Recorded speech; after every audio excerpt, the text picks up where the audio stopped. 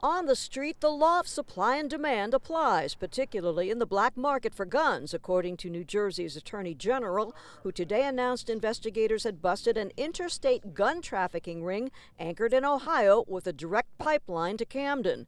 They indicted seven men and seized 17 guns. A number of those guns trafficked by this very ring were involved in a number of violent crimes in Camden over the last several years. 17 guns linked to this weapons trafficking ring were recovered, including the two assault rifles that I just mentioned, as well as 14 handguns. They would drive them from Ohio here to New Jersey, to Camden, over 500 miles to deliver the weapons to the local traffickers. And we allege that the defendants ultimately resold the assault rifles on the streets for prices of up to $2,000. Investigators say the ringleader and straw purchaser in Ohio could turn big profits because Ohio requires zero permits to buy firearms, and they're relatively cheap there compared to Jersey. That's the supply side. Mr. Ha- uh, Hammond walked into the store, presented his driver's license.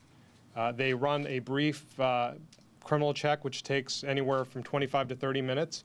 Uh, and then you're able to walk out with however many guns you want. New Jersey's tough gun laws in part drive the demand for contraband weapons. Police say these five Camden middlemen would impose a surcharge on the Ohio weapons sold here as their share of the profit. Each gun that we seize or take off the street is a life or multiple lives that we save in the process. Traffickers do a booming business. In 2016, the ATF sourced 2,500 guns recovered by police in New Jersey, and 80% of them traveled a black market route called the Iron Pipeline, stretching from 10 mostly southern states with loose gun laws. 61 guns came from Ohio.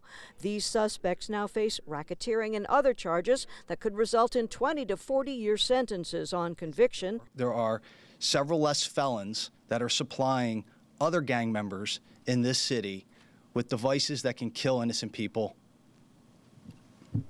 And we're, we're happy about that. Police know one bust won't stop gun trafficking into New Jersey. There's just too much money to be made. But at least for now, these guys are out of business.